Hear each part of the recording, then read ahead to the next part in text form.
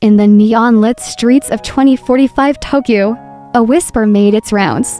An encrypted flash drive containing a message from Satoshi Nakamoto, Bitcoin's enigmatic creator, had been found.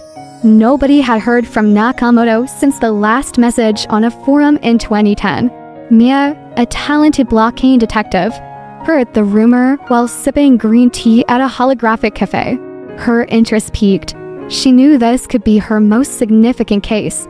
If the drive held a message or even a clue to Nakamoto's identity, it would rewrite cryptocurrency history. She began her hunt in Akihabara, the tech district, where the rumor first emerged. Mia scoured the bustling marketplaces, filled with antique tech relics and cutting-edge quantum computers, listening for whispers, hoping for a lead.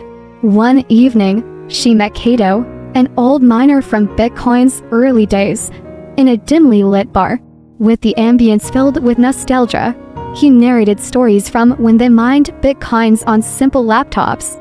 Sensing Mia's burning curiosity, he handed her a small chip.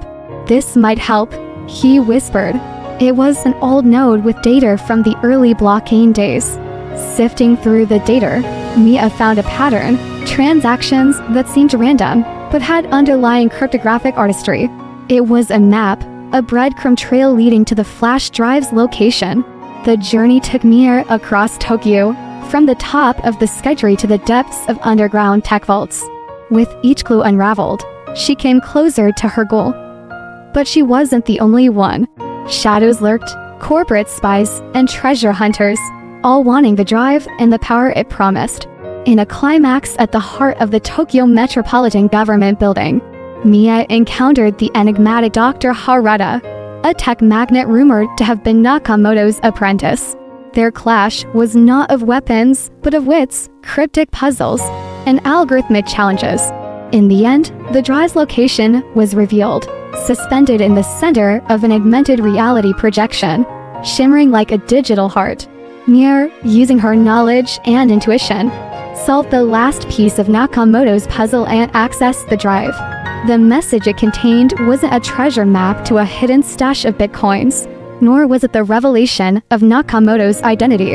Instead, it was a philosophical treatise, a vision of a future where decentralized systems empower individuals against overarching entities, a dream of a balanced world. The Hun had been a test, not of greed, but of understanding and purpose. Mia realized the true value of Nakamoto's legacy was not in finding out who he was, but in understanding and preserving the ethos of his creation. Returning to the neon-lit streets, she shared Nakamoto's message with the world. And as the neon lights shimmered, a new dawn for cryptocurrencies began, grounded in understanding and purpose.